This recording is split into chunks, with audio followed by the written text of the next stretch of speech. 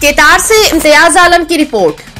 केतार प्रखंड क्षेत्र अंतर्गत ग्राम पंचायत बलीगढ़ निवासी मृतक किसुन बैठा पिता स्वर्गीय रामदास बैठा की भोज व श्राद्ध कार्य को करने हेतु समाज सेवी मनोज कुमार फौजी के द्वारा भोजन की सामग्री सहयोग किया गया है। बताते चले कि उक्त मृतक पैरालिसिस बीमारी से ग्रसित थे, जिन्हें इलाज के दरमियान 21 फरवरी को मृत्यु हो गई थी।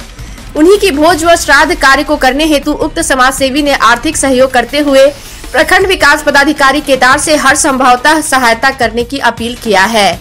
मौके पर धनंजय बैठा, राजेश बैठा, राकेश बैठा, केशवर चंद्रवंशी, सुरेंद्र कुमार, प्रवेश विश्वकर्मा, टोइलू चेरो, राजनाथ बैठा, इंद्रदेव सहित अन्य लोग शामिल थे।